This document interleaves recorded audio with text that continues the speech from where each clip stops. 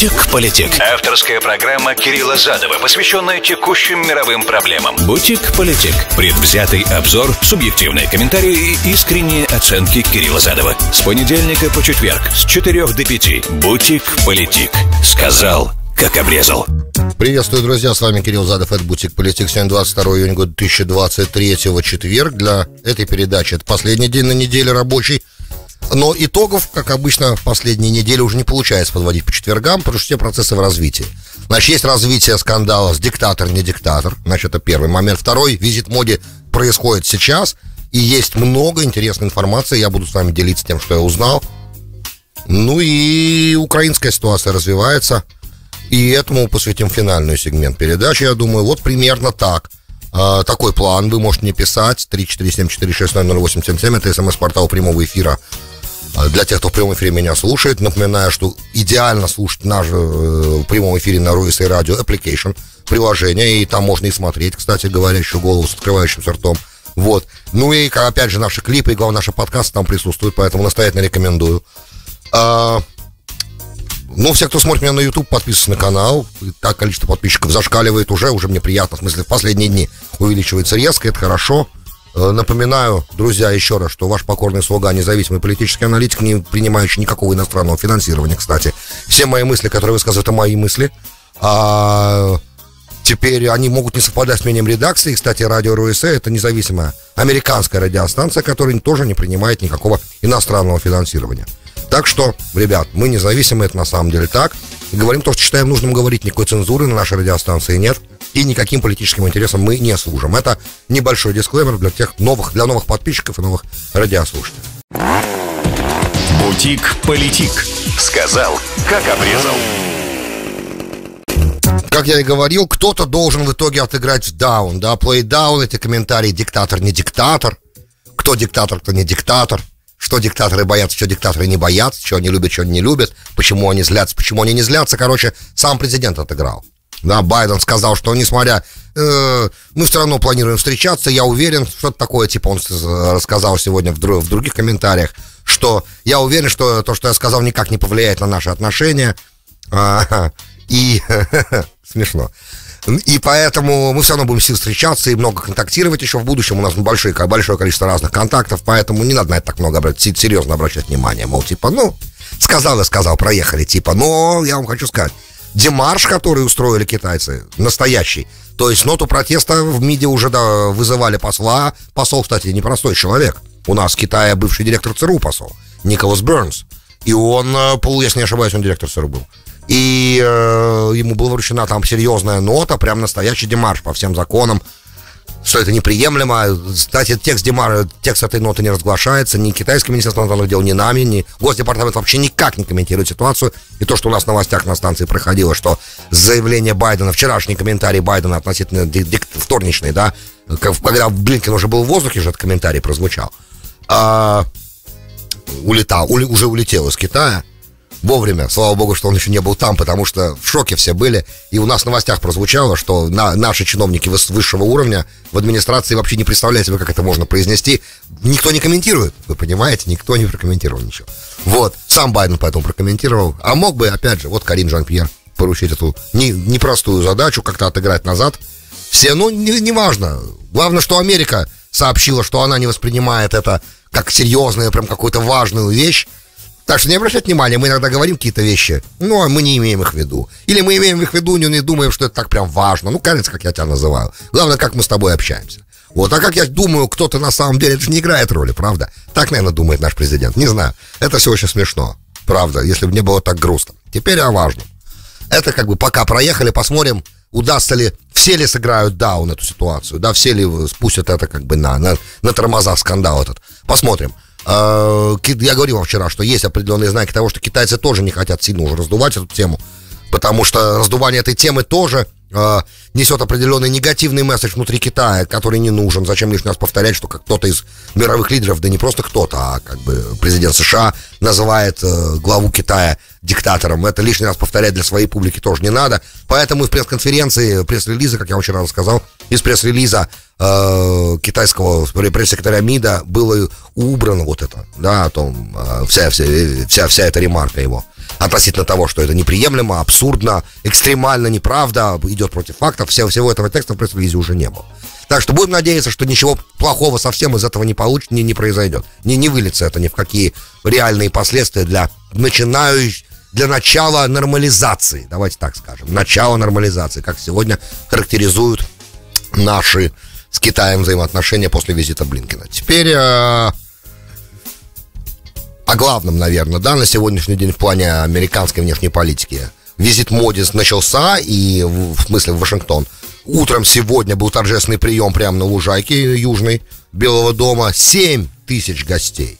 Большинство из которых Indian Americans, да, то есть американцы индийского происхождения, и во втором поколении, в первом поколении мигранты. И они скандировали «Моди-моди». Представьте себе, как это было круто премьер-министру Индии прийти на лужайку, где вот так его имя скандируют. Примерно как у него дома на стадионах да, когда на Таньягу приезжал, его там принимали на стадионе, и весь стадион стоя кричал «Моди, Моди». А, когда Трамп приезжал, то же самое было, и также скандировали «Трамп, Трамп», я помню. Огромный стадион, Индия большая страна, правда, с большим, огромным населением. В общем, все эксперты, вся аналитика сегодня пишут, что этот визит будет переломным в взаимоотношениях между Соединенными Штатами Америки и Индией.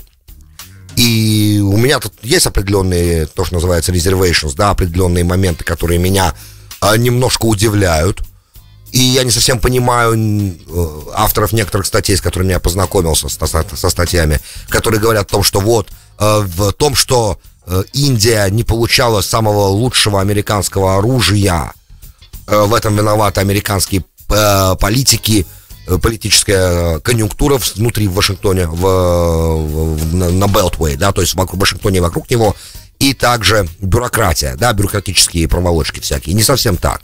Индия не получала э, передового американского оружия, невероятных американских военных технологий и специального отношения достаточно долго по нескольким причинам, и эти причины очень важны.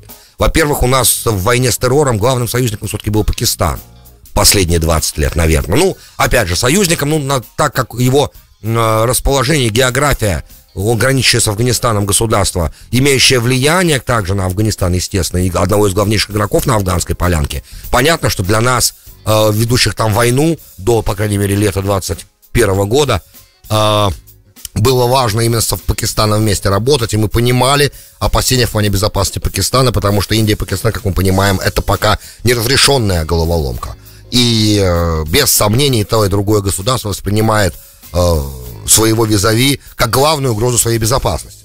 Потому что визави ядерная держава, как и та страна, которая эту, эту страну воспринимает как угрозу. И тут, естественно, э, если ты дружишь как бы и поставляешь военные самолеты и огромное военное финансирование Пакистану, то сложно при этом работать с Индией. Это первый момент. Второй момент. И мы еще подумаем, на самом деле, попытаемся прокомментировать, каким образом дальше будут складываться с Пакистаном отношения, если э, э, враждебность не прекратится, да, и так как мы понимаем, что в любой момент э, то, что происходит между Индией и Пакистаном, может вырасти в обострение всегда, и это происходит на наших глазах, происходило и происходит на наших глазах с периодичностью. Да, есть места, где там прям совсем все обострено, и где демаркация, не демаркация, я имею в виду границы, да, как бы Джамма и Кашмир, и э, где есть вопросы, и они остаются, и нерешенные проблемы, и опять же, те проблемы, которые есть в Индии э, с мусульманским меньшинством, они никак не могут улучшить потенциальные нормальные, потенциальные отношения с Пакистаном, да, и, естественно, э, все это большая проблема, и одна из точек дис, потенциальной дестабилизации Южной, Юж, Южной Азии, да, или, как хотите, Индийского субконтинента, как хотите называйте. В общем, э, это была важная причина, почему не шло дальше, чем вот туда, куда сегодня пришло, куда пришло, я расскажу, это правда удивительно. И это прям реально много. Я не уверен, что это добьется, что э, все эти договоренности в итоге исполнят главную задачу Соединенных Штатов. Одну из двух главных. Первая главная задача была, э, как пишет Wall Street Journal сегодня, оттащить за уши Индию от... Э, э, я перефразирую, конечно. Да, оттащить, оттащить Индию за уши от э, получения российских контрактов, да, от э, э, оружейных российских контрактов, а Индия невероятный клиент для России и традиционно, и Советского Союза была всегда и остается сегодня. И это неизвестно, будет ли исполнено. Вот, это первое. А второе, самое главное, в, уже в плане экономическом и политическом, это еще и противостояние Китаю очень важно. И э, Индия главный, как бы, наш инструмент в выстраивании выстраивании антикитайской коалиции и, главное, в диверсификации инвестиционного потока э, в производство передовых всяческих э, полупроводников и разных других вещей, которые которые мы не хотим, чтобы производились в Китае, потому что они и двойного назначения, мы об этом уже вчера говорили, да, а двойного назначения очень много, особенно полупроводники, которые могут в военных технологиях использоваться, и мы не хотим давать Китаю, мы не хотим, чтобы на наши деньги, на деньги наших инвесторов или европейских инвесторов э, китайцы улучшали свою военную машину, при этом еще и помогая э, нашим потенциальным конкурентам, соперникам в Европе э, проводить, вести военные кампании. Да, это как бы сверхидея. идея э, неизвестно. То есть, если по второму пункту понятно, что Индия заинтересована в, наш, в горячем с нами сотрудничестве, то по первому пункту я представляю себе, я еще позже об этом один раз скажу, немножко в другом контексте, Индия все равно останется российским клиентом. Да, сегодня я вам это говорю, запомните эти слова, занесите их в протокол, как говорил Швондер, да, в любом случае Индия останется российским военным клиентом. Это цивилизационная дружба, она никуда никогда не уйдет. Да, это первый, это момент как бы такой, который нужно принять. Мне кажется, американская администрация должна это понимать, хотя, может быть, и иллюзии разные присутствуют. Потому что мы, э, Америка, видим мир так, как мы хотим, таким, каким мы хотим его видеть. И в этом мире работают санкции, кстати, да, в нашем понимании санкции работают, э, и мы добиваемся всегда поставленных задач и целей. Это немножко, не совсем, скажем так, не совсем реалистичная картина мироздания, на мой взгляд, по крайней мере. Пошли дальше. Значит, э, давайте о контрактах для начала. Будет сегодня, э, сегодня обещают нам сюрприз прям, когда будет анонсировано, скорее всего, будет очень скоро анонсировано. Анонсировано будет, я просто для того, чтобы э, не ошибиться в маркировках того, что будет куплено, значит, индийцы должны объявить сегодня, что заключается контракт на поставку двух дюжин 24 MQ-9B Sea Guardian дроны. Это супер передовая американская штука. Она э, морского, как мы понимаем, базирования. Sea Guardian. И это э, обновленная версия классического дрона Reaper. Большая, на 3 миллиарда этот контракт. И мы так понимаем, что мы никому это пока не продаем. Вот Индии мы это продадим. Это первое. И второе, о чем будет сегодня объявлено. Мы заключим с Индией контракт на производство совместно реактивного двигателя для самолетов, э, который это то, что у нас называется F-18 самолет. Э, и мы будем делиться с Индией технологиями. Технологиями, которыми мы ни с кем не делимся, потому что они супер передовые и секретные. И это вызывает у меня серьезные вопросы, потому что э, то, что Индия была и остается российским э, оружейным клиентом, для справки, за последние 10 лет Индия купила у России э, вооружений и разных других там вещей, связанных с военными, с военной темой, то есть совместных проектов, короче, индийско-российских и по закупке вооружений, стоимость в 20 раз превышает все контракты США. В 20 раз за 10 лет Индия потратила больше денег в России, чем она потратила на американские разные штуки. Опять же, причина по мнению экспертов здесь, которых я, которыми я знакомился, именно в политическом нежелании э, и, естественно, в бюрократии. А главная причина, опять же, которой не говорят тут, почему-то не говорят, это, естественно, э, Пакистан, который, естественно, лоббировал против. И пакистанское лобби еще с времен вторжения в Афганистан советского очень сильное в Америке, потому как именно через Пакистан тогда поставки всяческих-то э, Аль-Каиде тогда, которая была тогда союзником, да, и э, маджахедам поставок всяческих вооружений, стингеров и так далее, оно шло все через Пакистан, поэтому остались связи наработанные старые, они давным-давно действуют, да, с 80-х годов, поэтому понятно, что это лобби сильное, когда вы начинаете какой-то проект, который, опять же, приносит огромные деньги, вы понимаете. И все эти поставки вооружений для войны с Советским Союзом в Афганистане, они э, были крупные суммы. И естественно, что на этих крупных суммах и на крупных этих вложениях, э, не вложениях, платежах, нагревалось множество разных участников, потому что не все можно было делать открыто. А когда вы что-то делаете не открыто, то, соответственно, есть разные этапы, когда денежка, как это, to skin the cat, да, когда денежка Э, уходит очень много всяческих разных трат, идет на то, чтобы а, эта цепочка посредников работала, если надо что-то прикрыть. И это то, как происходили эти поставки. Есть какой-то фильм, я уже забыл, как он, кстати, называется. Кто из моих зрителей, кто-то может напомнить мне, как это кино называлось. Том Хэнкс играет того конгрессмена, который и организовал все эти поставки вооружений для того, чтобы с Советским Союзом там воевать. И там много интересного в этом фильме есть. Насколько все это соответствует, не важно, как это художественное произведение, это кино. По кино мы не можем об истории судить, но примерное хоть представление о том, как в Вашингтоне работает, как бы закулисная вся эта игра, она есть, да, как лоббируются интересы. Там это показано хорошо, и многие вещи не показаны.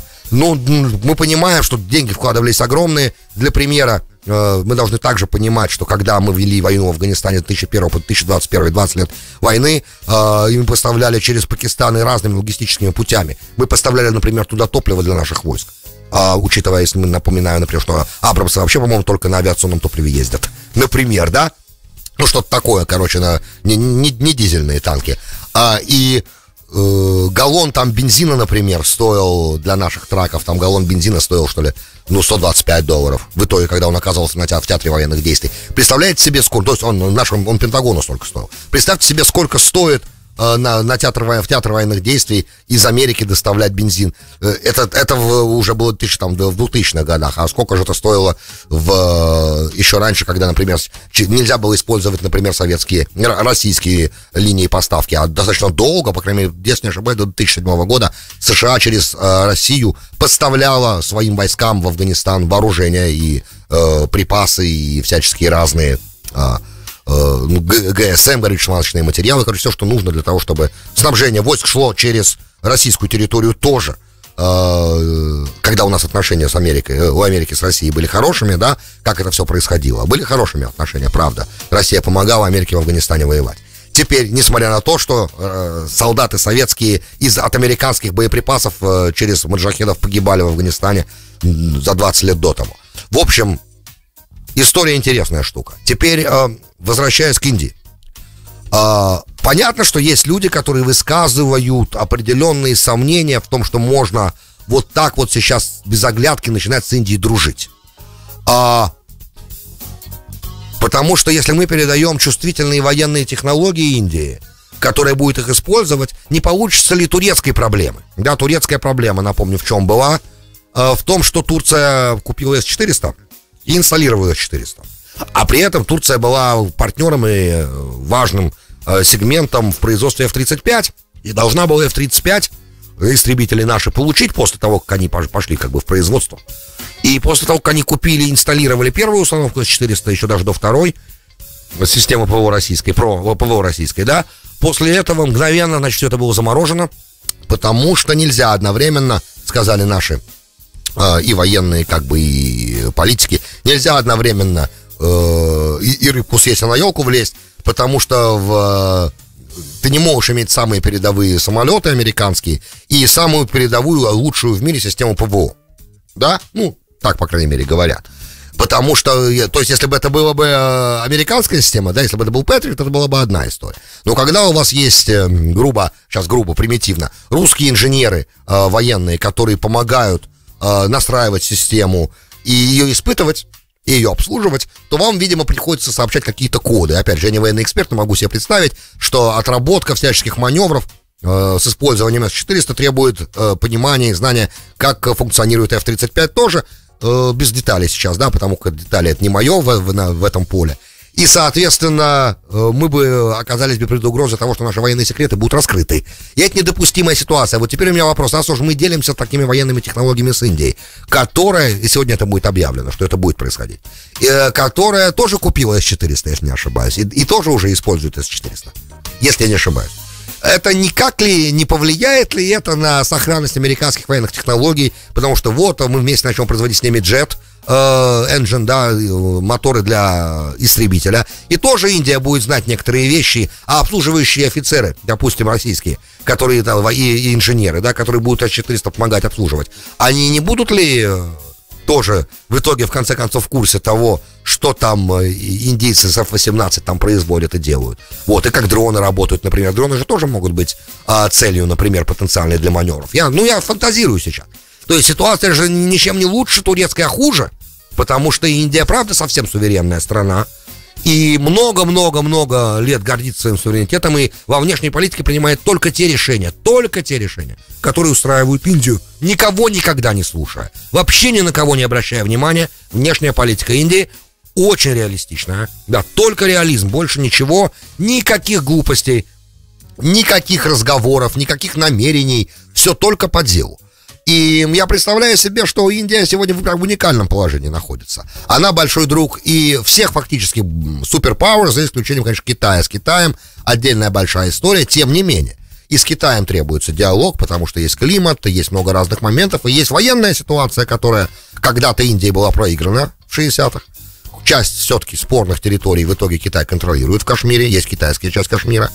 И там тоже не все так просто. И там тоже потенциально, теоретически точнее, могут возникнуть определенные проблемы. И да, китайская цивилизация, если слышать Хантингтона, она дружит больше с исламской, чем с индийской. Это традиция, опять же, дружишь с дальним против ближних, но это не совсем работает. В плане мусульман они не дальние от Китая, они и в Китае тоже есть. Кстати, когда я говорю, что уйгуров 200 миллионов, я прошу прощения, это, конечно, была ошибка. Я имел в виду, что всего мусульман в Китае проживает около 200 миллионов, и эту информацию я встречал в прессе.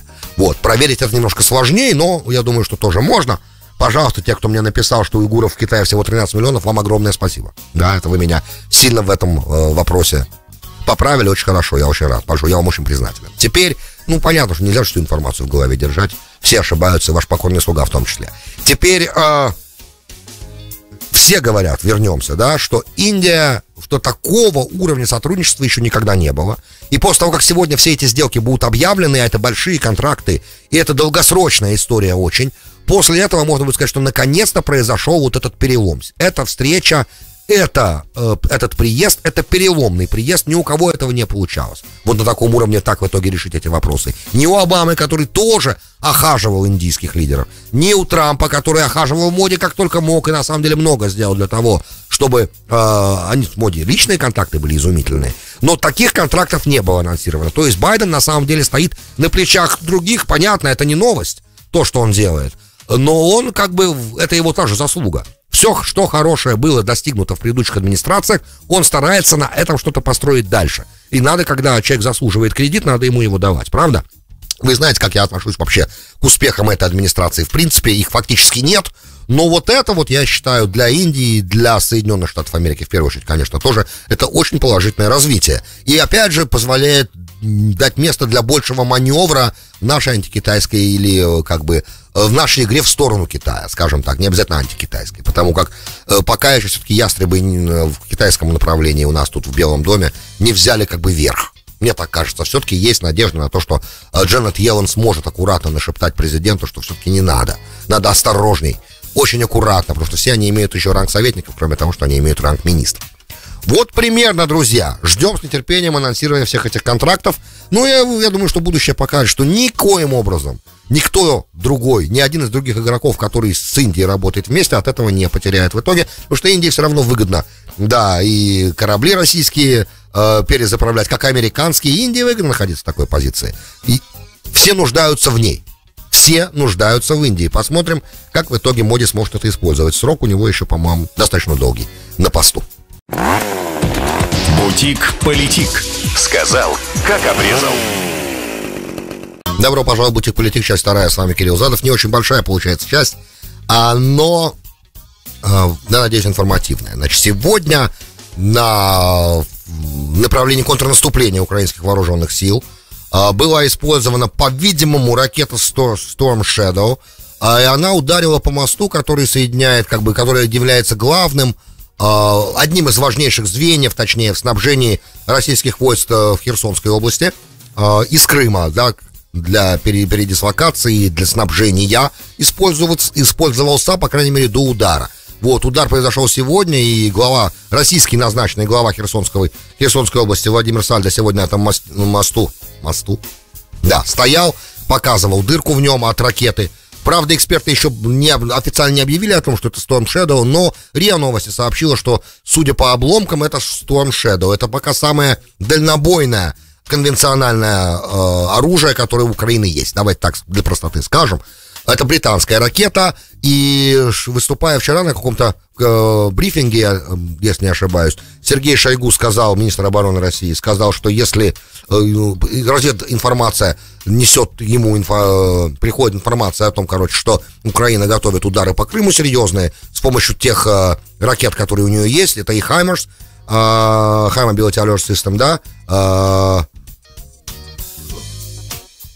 и Storm Shadow, Shadow, который поставлен в Великобритании, использованием этих средств. Он сказал, что это будет, во-первых, э, это будет означать тотальное вовлечение как бы США и Великобритании в военный конфликт. Это первое. А второе, что после этого Россия нанесет удары по центрам принятия решений в ответ на подобные действия. И это достаточно тяжелый знак еще большей эскалации. Но это очевидные вещи, которые звучат как бы и с той, и с другой стороны. Сейчас и действия, которые происходят, Украина пытается разрушить пусть и поставок для того, чтобы контрнаступление шло быстрее и успешнее. При этом она также пытается, как видно из информации, которая приходит, перегруппироваться. Э, идет перегруппировка, потому что я так понимаю, что первый этап контрнаступления, который, наверное, можно считать уже близким к завершению.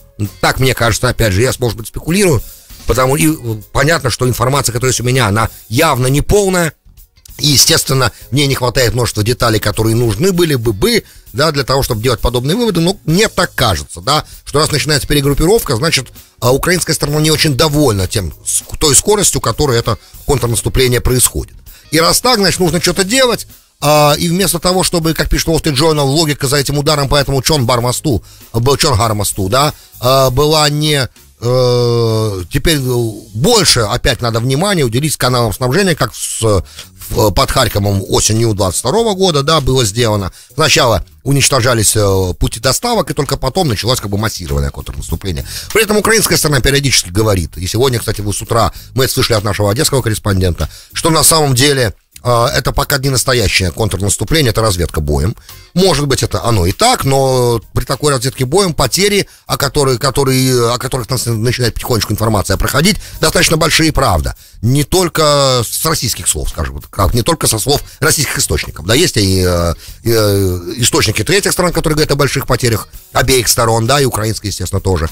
И это означает, что, значит, не все идет так гладко, как на самом деле хотелось. И именно с этим, я думаю, вызвана перегруппировка, да, которая начинается, о которой вот Wall Street Journal сегодня написал. А, сама по себе ситуация сохраняет свой невероятный эскалационный потенциал. Также потенциально будущее размещение тактического оружия в Беларуси этому не помогает, да, снижению какой-то эскалации не помогает. И опять же, слухи идут о том, что а, вот э, русские планируют взрыв Запорожской АЭС. Я считаю, что это провокация и часть информационной военной кампании. Мое такое мнение. Э, потому что это немножко другого уровня а, то, что может произойти, если то, что если в итоге это произойдет, и кто-то, да, какая-то из сторон на подобную вещь решится, то это прям серьезная экологическая, прям, ну, страшно, я даже не хочу это дальше. Дальше эту тему развивать, чтобы не давать метафизической возможности этому произойти на самом деле. Но, опять же, э, льется вода на мельницу и той, и другой стороны от э, распространения этих слухов. Еще раз. И это все очень повышает сильно нервозность. И опять же, нашим европейским партнерам Украины, да, нужно понимать, что они находятся как бы в очень неприятном и опасном сейчас месте. И должны, нужно сделать все возможное, вместо того, не бросая в топку войны дрова дальше, а начиная диалог внятный, разумный, для того, чтобы все эти эскалационные ожидания стали нерелевантными. Да, только так я как бы... Просто эскалационные ожидания могут стать нерелевантными в двух случаях, да. В случае эскалации, когда это уже будет не ожидание, эскалация, или в случае замору... прекращения на время хотя бы военного конфликта и начала серьезного вдумчивого разговора. Когда же мы уже этого дождемся? Я с нетерпением ожидаю, когда же голос разума начнет как бы пробиваться через а, стену тупости и э, иностранного влияния во всей этой истории. Правда. Ну, голос разума. Разума. Это очень важно. Друзья, большое спасибо, что были со мной. С вами был Кирилл Задов и слушали Бутик Политик. До встречи в понедельник в этой передаче. Хороших выходных. Бутик Политик. Сказал, как обрезал.